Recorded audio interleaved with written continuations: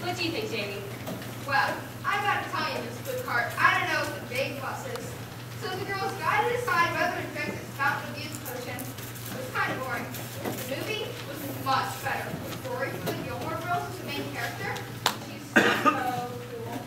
Uh, Jamie, this boring book, as you so casually refer to it, happens to be one of my favorites and is wrecked with philosophical and literary issues that any thoughtful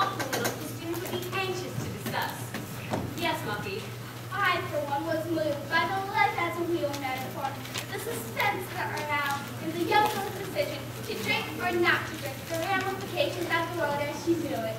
Thank you, Muffy. It's students like you that give real purpose to teaching. Freeze. Now, why did I have to be so outspoken? Let's take another shot at this and see if I can do better with the second chance. Rewind. Play. All right, my young charges. Let's get some feedback on the reading I was so gracious to give to you last night, there was a fresh episode of Glee on, and you probably had soccer practice or any number of other less important adolescent activities. yes, Muffy. I thought it was pretty shallow and superficial, Mrs. Foodcart. I mean, a man in a yellow raincoat, so did my intelligence. Anyone who saw any value in it be devoid of any thoughts more sophisticated than a farmhand. Muffy, I expected more mature thinking from you. Perhaps the reading was too advanced for you, and you would benefit from some supplementary sentence diagramming exercises.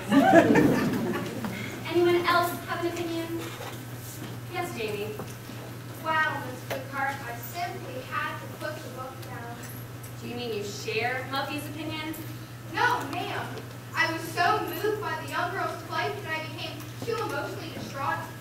I immediately sought out the counsel of my mother, who was, of course, reading the book along with me. Did this help? Oh, yes, ma'am. After we had a good old-fashioned crying session together, we put on, all, put on our work clothes and cleaned out all of our closets. It made us both feel a lot better, and we then read the next several chapters together aloud. That's remarkable. We then wrote the author, Natalie Babbitt, a letter telling her how much we loved the book. I've now decided to become an author when I grow up. Oh, An author or an English teacher. Now that's more like it. Yup. Sure would help things out academically. What about socially? Hi, John. So, I, uh, I, Claire? Jamie. aw, where? No, I'm Jamie. What you doing after school today? Uh, we'll probably play Call of Duty for a couple hours, and then clean the algae off my fish tank. Sounds great. Rewind. Play. Hey, John, what's up? My mood now that you're around. Headed down to Woody's for some ice cream? Yeah, I guess so. Did you see the game last night? What game? What game? The Tech Miami game, of course. Oh, guess I don't follow basketball all. Football. Whatever. You ready for Woody? Hi, guys. What are you up to? Oh, nothing much. Just thinking about heading to the library. Did you watch, are you gonna watch the game tonight?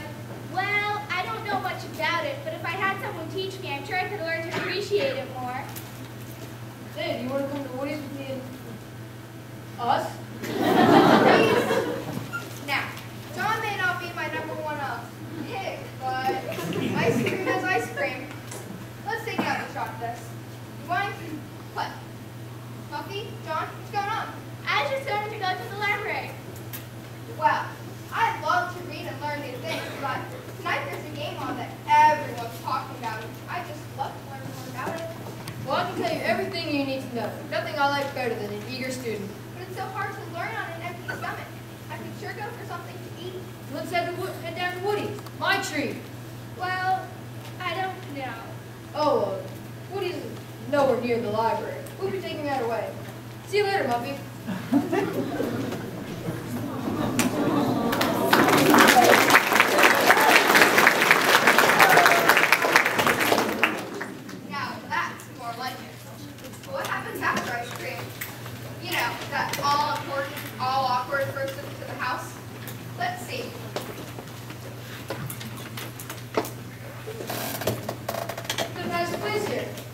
watch that football game.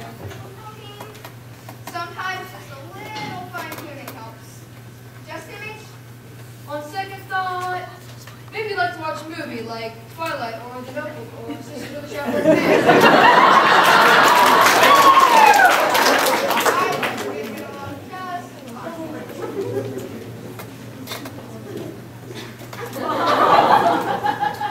Hi, Jamie. Is this your name?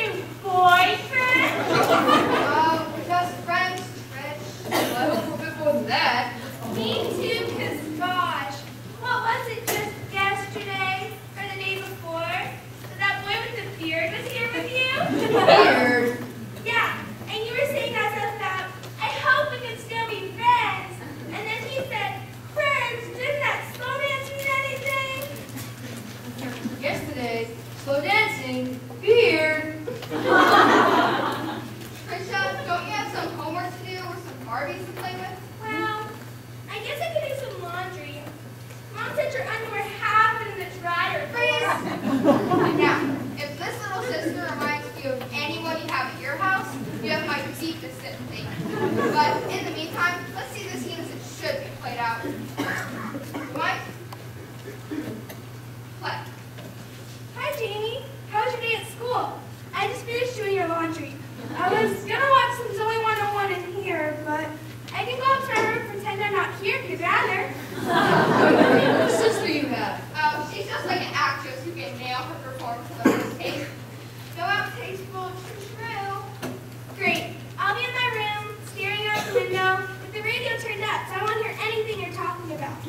But if you want a snack or something, just knock on the door. I'll whip something up as quick as I can, and I'll leave it outside the living room. I won't come in or anything. Gee, thanks, Shusha. Oh, no problem. Oops! I'm so sorry! It's okay. You Trisha, you could just stay watch TV with us.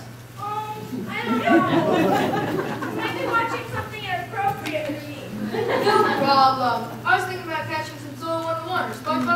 Good.